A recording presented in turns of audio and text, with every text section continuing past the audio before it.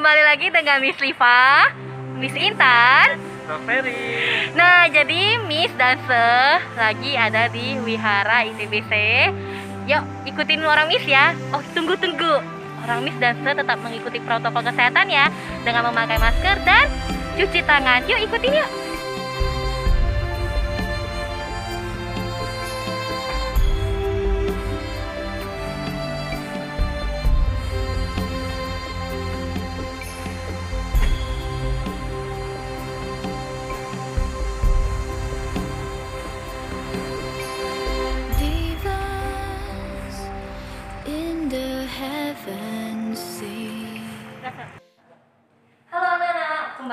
Dengan Miss Liva. Kali ini Miss Liva bersama dengan Mbak Didira. Nama budaya Bante. Nama budaya. Nah, Bante, eh, kali ini kedatangan Miss Liva ingin tanya-tanya loh sama Bante. Oke, siap. Oke. Nah, anak-anak, kali ini kita akan ba- membahas tentang pengobatan bodhisatta. Eh, Bante, bodhisatta itu apa ya, Bante? Bodhisatta atau bodhisatwa ya. Jadi Iya, benar. di dalam penyebutan ini sendiri ada bahasa Pali. Kalau bahasa Pali kita sering sebut bodhisatta yaitu bahasa Pali. Kalau bodhisatwa itu bahasa Sanskerta. Jadi bodhisatwa itu sendiri artinya adalah calon Buddha.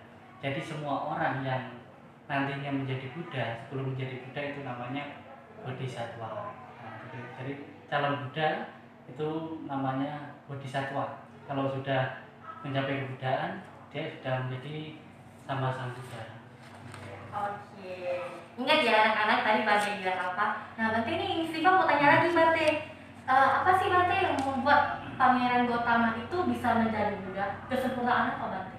Ya, di sini setiap eh, seorang bodhisatwa kalau mau menjadi Buddha di situ harus menyempurnakan yang namanya dasa parami.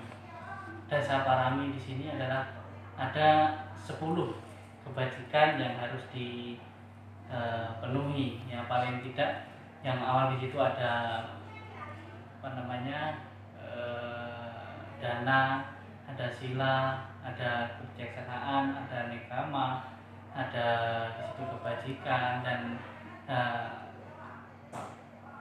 beberapa hal yang harus disempurnakan. Itu ada 10 nah nanti bisa dicari 10 hal itu apa saja sih yang harus disempurnakan.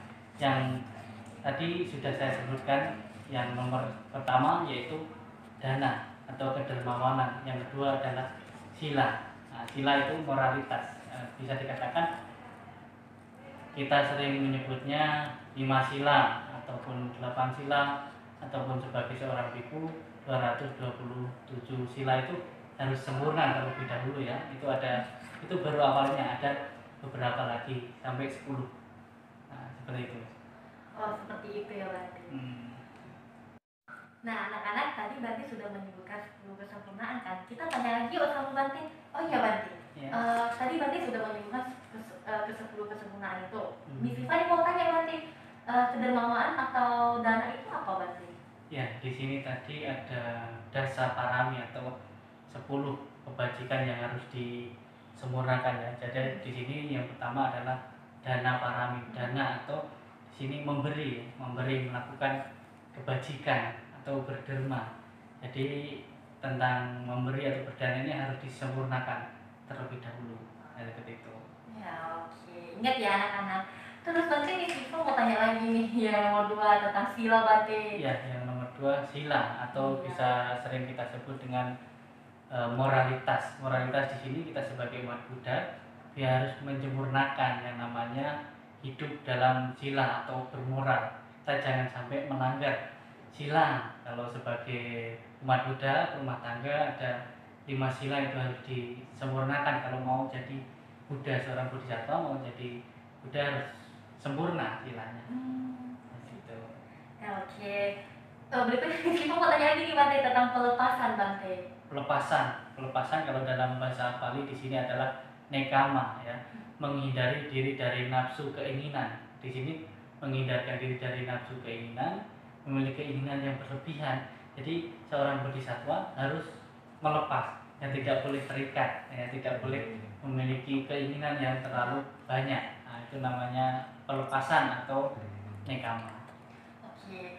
Oh, anak-anak ingat ya tadi Bante bilang apa? Selanjutnya, Riva juga mau tanya yang lagi nih. Oke Bante, Miss Riva mau tanya lagi tentang kebijaksanaan Bante. Kebijaksanaan. Nah, kalau dalam bahasa palinya di sini adalah panya panya adalah mengetahui sebagaimana adanya. Kita harus sempurna dalam kebijaksanaannya kalau seorang bodhisatwa mau menjadi Buddha. Jadi mengetahui mana yang benar dan mana yang salah. Mana yang boleh dilakukan dan mana yang tidak boleh dilakukan. Itulah yang namanya panya harus sempurna juga Iya, seorang sempurna.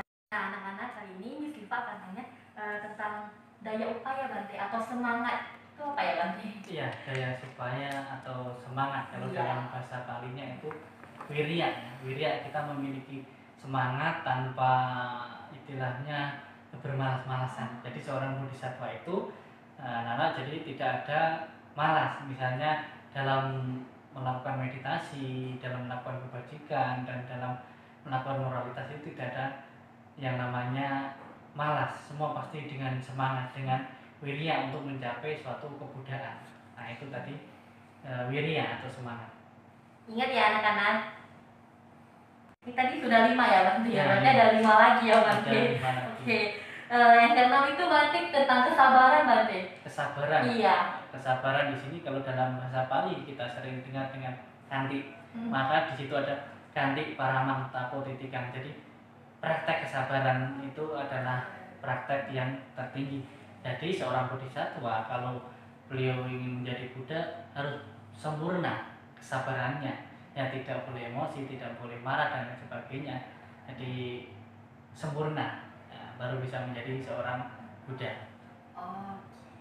Yang ketujuh ada kejujuran Bante. Hmm. Kejujuran, Hmm. kejujuran di sini bisa sering dikatakan apa di situ?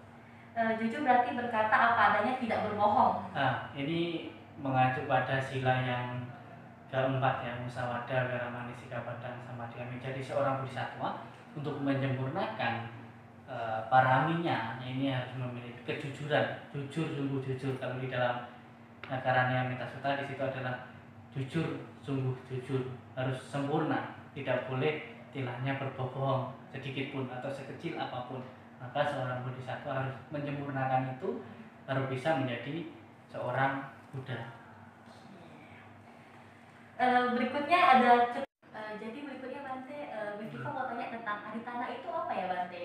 Iya, aditana. Kalau dalam bahasa Pali aditana, tapi kalau dalam bahasa Indonesia di sini tekad. Tekad jadi kita bertekad menyempurnakan semua paramita itu dengan keputusan tanpa adanya eh, keraguan-raguan atau memutuskan sesuatu yang salah. Jadi berarti tanah bertekad eh, berupaya semaksimal mungkin untuk menyempurnakan semua kebajikan atau semua dasa parami 10 kebajikan itu dengan baik dan benar maka seorang bodhisatwa yang sudah memiliki tekad atau aditana yang kuat maka beliau akan mencapai kebudayaan Demikian.